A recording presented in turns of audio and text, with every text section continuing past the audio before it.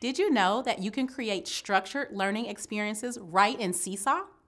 With Seesaw activities, you can include text and audio directions, engaging multimedia examples, and interactive templates that students can respond on. Let's learn how to create activities to transform learning. New activities are created in your My Library. To create a new activity, tap the green Add button, tap Assign Activity, and tap Create New Activity. This will open up a blank activity template for you to complete. Name your activity by including a descriptive title. Type in step-by-step -step directions.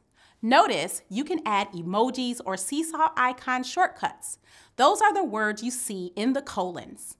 When you type these shortcuts into your instructions, they transform into icons when you tap Save. You can also include audio directions, which are great for supporting younger learners and language learners. Attach a multimedia example like an exemplar, instructional video, or picture that helps students complete or get excited about the activity. You can use any of the multimodal tools to add your examples.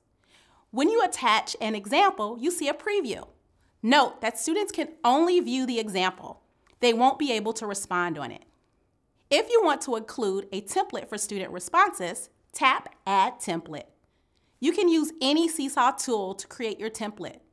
Most teachers start with the drawing tool because it is a blank canvas with so many possibilities. On the Seesaw canvas, create guided and interactive templates with text, shapes, photos, videos, and more. You can even tap Add Page to create multi-page templates that support scaffolded, multi-step learning experiences. You can include up to 20 pages in one Seesaw activity to support even more dynamic learning. You see a preview of your template when your template is attached. Tap Assign, select the class or classes you want to assign the activity to. You can assign the activity to the entire class or a select group of students. To assign to specific students, tap Edit Students Folders and Skills in the Students tab. Tap the box next to the students you want to assign this activity to. Then tap Assign. You did it. You created and assigned your first activity. Seesaw activities make learning accessible and engaging and support all students in creating and exploring and sharing with multimodal tools. Your challenge is to create one Seesaw activity to assign to your students. Share your creativity on Twitter using the hashtag SeesawMiaMinute.